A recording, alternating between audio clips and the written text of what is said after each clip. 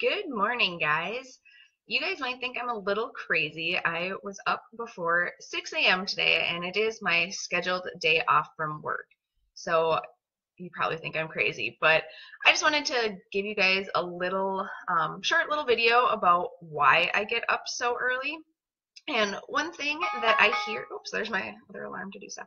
Um, one thing I um, hear from so many people is they don't have time whether it's time for themselves, um, whether it's um, time to be with their family. I mean, everybody essentially has the same 24 hours in the day.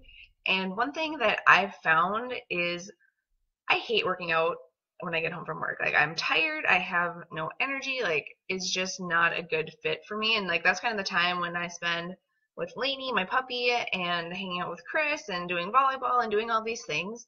And so when I would come home and that was a time that I would have scheduled for my workout, like I would skip it. Like there were so many times and I just wouldn't do it because I found other things to do. And so one thing I've found, like when I switched from getting up at 5 a.m. before work and focusing like an hour on me in the morning, um, putting together my lists and like what I'm going to do for the day and kind of working on my goals, I found that I showed up and it helps so much for me um, getting into that habit of, okay, I wake up, I drink my Energize, kind of wake up, do my workout, and then I get on with my day. One, I feel great because I did my workout, and usually when you do your workout right away in the morning, you tend to make better choices the rest of the day. Um, so instead of reaching for a donut or something, it's like, oh, I already worked out, I don't want to ruin that, so you'll reach for an apple.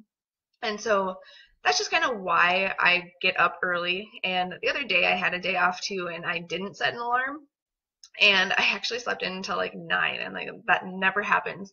And it was just like so weird because I was groggy the rest of the day, and I just like didn't accomplish everything that I wanted to because I didn't have that quick start in the morning to get all my stuff done. It was just kind of like it was just weird. So that is why like when it is technically my day off, I'm still choosing to get up early. Like I didn't get up at 5 a.m., but I got up closer to 5:30, and I'm gonna go work on my to-do list. But I hope you guys take something away from this. Of, I mean, even if you get up five, ten minutes earlier than you normally do, just to do something for you, it's totally worth it, and that habit will help you help help you reach your goals. So comment below um, with one thing that you will start doing in the morning.